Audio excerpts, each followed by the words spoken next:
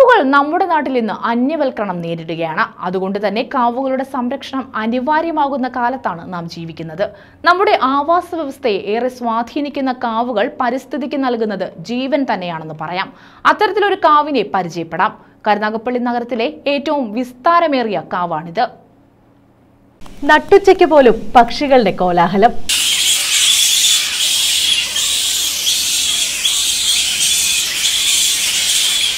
കൊടും ചൂടിലും ഒരു കുളിർമ. കാവിലെ കൂറ്റൻ മരക്കൊമ്പുകളിൽ തൂങ്ങിയാടുന്ന വാവലുകൾ.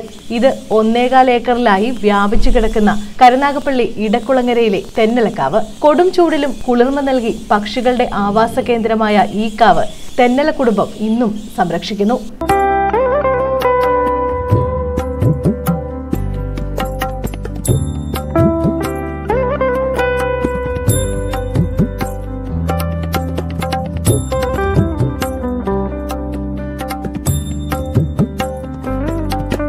അപൂർവമായ സസ്യജാലങ്ങളും ഇവിടെയുണ്ട്. എന്റെ അമ്മമ്മയൊക്കെ കൂടെ ആയിരുന്നു ഇവിടെ താമസിച്ചിരുന്നത്? അപ്പം പിന്നെ അങ്ങനെ ഇവിടെ പിന്നെ പാരമ്പര്യമായിട്ട് ഇങ്ങനെ തലമുറയായിട്ട് ഞങ്ങൾ ഇങ്ങനെ ഇതിന്റെ കാര്യങ്ങൾ ഇതിന് കുറച്ച് വസ്തുക്കൾ ഒക്കെ ഉണ്ട്. അങ്ങനെ നോക്കിക്കൊണ്ട് വന്നതാണ് അങ്ങനെ ഇപ്പം ഞാനായിരുന്നു എന്റെ ഇതിലായിരുന്നു കാര്യങ്ങളെല്ലാം നടന്നു പരദേവതകളും കളരിപരമ്പര ദൈവങ്ങളും സർപ്പക്കുളങ്ങളും എല്ലാമുള്ള പ്രാചീന തറവാടിന്റെ ബാക്കിപത്രമായ കാവ് ഇന്നും കുടുംബം ഒരു കുഴപ്പവും കൂടാതെ സംരക്ഷിക്കുകയാണ്.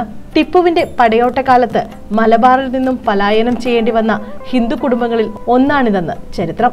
ഇവിടേക്ക് പറിച്ചു നടപ്പെട്ട ബ്രാഹ്മണ കുടുംബം പിന്നീടുണ്ടായ പരിവർത്തനങ്ങളിൽ നായർ സമുദായമായി മാറി. ചരിത്രം ഏറെയുണ്ടെങ്കിലും അവയൊന്നും എഴുതി സൂക്ഷിക്കപ്പെട്ടിട്ടില്ല. അതിനാൽ പുതുതലമുറയ്ക്ക് ഇവ വാമൊഴികളിലൂടെ പകർന്നു കിട്ടിയ അനുഭവം മാത്രം.